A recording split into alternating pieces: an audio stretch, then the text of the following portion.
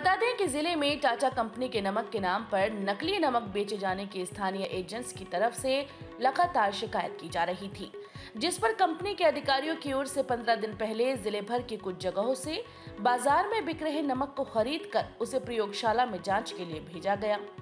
वही जाँच में ये नमक नकली पाया गया, जिसके बाद नकली नमक बेचने वाले व्यापारियों का पता चलने पर कंपनी के अधिकारियों ने ज़िले के कप्तान से शिकायत की, जिसके बाद एसओजी और स्थानीय पुलिस ने कई जगहों पर छापेमारी की। इस दौरान पुलिस ने सरदार नगर में जुगनू किराना और आवास विकास में अमित ट्रेडर्स समेत अमित किराना स्टोर पर छापा मारा और तीन व्यापारियों को हिरासत में लिया। वहीं जसपुर में टाटा कंपनी के निदेशक रमेश दत्त के साथ स्थानीय पुलिस टीम ने सात गोदामों पर छापेमारी कर पच्चीस हज़ार नकली टाटा नमक के पैकेट बरामद किए। कंपनी के अधिकारियों के मुताबिक पैकेट में मिले नकली नमक की पहचान की गई तो नमक में हल्का कालापन था और वो आयोडाइज भी नहीं था। ऐसे में ये नमक खाने में घेंगा रोग हो सकता है और ये किडनी पर भी असर डाल सकता है। वहीं इसके पैकेट्स की सील भी ठीक से नहीं थी।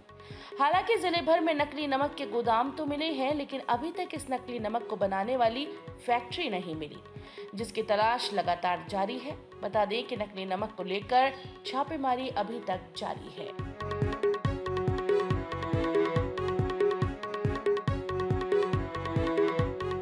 हमारी कंपनी है sir speed search and security network हम लीगल देखते हैं sir Tata consumer private limited का। उसमें सर ऐसा है कि हमारे पास इंफॉर्मेशन थी कि गदरपुर में और किशनपुर में और जसपुर में जो नमक की बहुत बड़े लेवल पे सप्लाई हो रही है और मैन्युफैक्चरिंग हो रही है। तो हमने यहाँ से परचेजिंग भी की है सर कुछ दुकानदारों से एक दो दिन पहले हमने अपनी इन्वेस्टिगेशन कंप्लीट की। तो एसएसपी साहब से हमारे सीनियर अधिकारियों ने मुलाकात की थी।